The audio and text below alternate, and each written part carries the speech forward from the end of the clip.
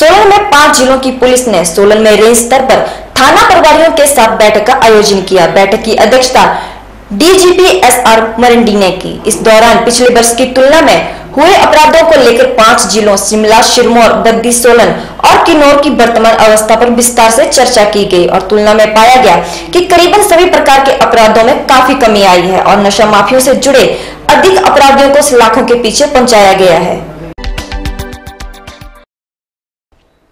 सोलन में पाँच जिलों की पुलिस ने सोलन में रेंज स्तर पर थाना प्रभारियों के साथ बैठक का आयोजन किया। बैठक की अध्यक्षता डीजीपी एस आर मरंडी ने की। इस दौरान पिछले वर्ष की तुलना में हुए अपराधों को लेकर पाँचों ज़िले सिरमौर, शिमला, बद्दी, सोलन और किन्नौर की वर्तमान अवस्था पर विस्तार से चर्चा की गई और तुलना में पाया गया कि करीब सभी प्रकार के अपराधों में कमी आई है।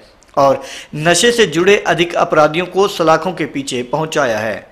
इस मौके पर डीजीपी एस आर मरंडी ने बताया कि हिमाचल पुलिस को सीएसडीएस द्वारा करवाए गए फेयर इन पुलिस सर्वेक्षण में पहला, ट्रस्ट इन सीनियर ऑफिसर्स व पुलिस कार्यों में तेज़ी में दूसरा और ट्रस्ट इन पुलिस वर्ग में चौथा स्थान हासिल हुआ है। जो कि हिमाचल पुलिस के लिए गर्व की बात है। उन्होंने बताया कि हिमाचल में भय मुक्त वातावरण बनाने का हर संभव प्रयास किया जा रहा है। यही वजह है कि पुलिस की मुस्तैदी से हिमाचल में अपराध का ग्राफ पिछले वर्षों की तुलना में नीचे आया है। उन्होंने बताया कि कानून व्यवस्था को दुरुस्त रखने के लिए 112 हेल्पलाइन नंबर जारी किया जा चुका है। वहीं यातायात नियंत्रण के लिए ई चलान आरंभ किए जा चुके हैं। इसके तहत अगर कोई व्यक्ति बार बार नियमों की अवहेलना करता है तो उस पर सख्त कार्रवाई अमल में लाई जाएगी और बड़े जुर्माने के साथ उसका लाइसेंस भी रद्द किया जा सकता है। जल्द ही हिमाचल पुलिस अपनी ऐप भी लॉन्च करने जा रही है, जिसमें कोई भी व्यक्ति गुप्त सूचना पुलिस को भेज सकता है।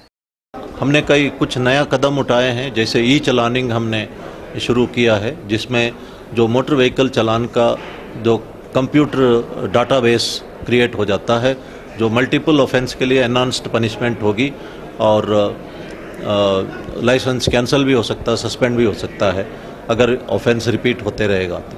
और इसी तरह हमने आ, कुछ और कदम उठाए हैं। ऐप लॉन्च हमने करने वाले हैं ऐप तैयार है जिसमें कोई भी आदमी ड्रग के बारे में सूचना दे सकता है और सूचना देने वाले का नाम पता जो है, वो रिवील नहीं होगा और पुलिस को कभी पता नहीं लगेगा। और उसमें यह है कि पहले तो गुप्त रखने का भी आवश्यकता नहीं है। जब पता ही नहीं लगेगा तो तो गुप्त रखने का सवाल ही नहीं है।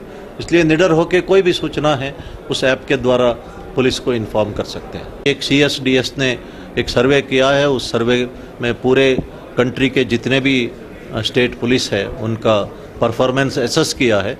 और ये 2018 का डाटा इसमें शामिल किया गया है। उसके मुताबिक Himachal Pradesh first three four में है और कई पैरामीटर्स में हम देश में नंबर वन में हैं और जो ट्रस्ट इन सीनियर ऑफिसर्स इसमें नंबर दो में है और ये संतोषजनक है। स्टेट में ERSS emergency response support system launch किया 112 नंबर तो कोई भी आदमी किसी भी हेल्प के लिए 112 नंबर दबा सकता है और डायल कर सकता है उसके बाद एक नंबर दबाने से कनेक्ट हो जाता है। और उसके बाद अगर कोई भी अपना दुख तकलीफ़ इस नंबर पे बता सकते हैं। और हम इस नंबर का भी और बाकी व्हाट्सएप नंबर भी गुड़िया हेल्पलाइन वगैरह नंबर का भी हर महीना जो है इसका हर हफ़्ते इसका रिव्यू करते हैं कि, कि कितना कंप्लेंट्स आए कितना डिस्पोजल हुआ देरी क्यों हुआ।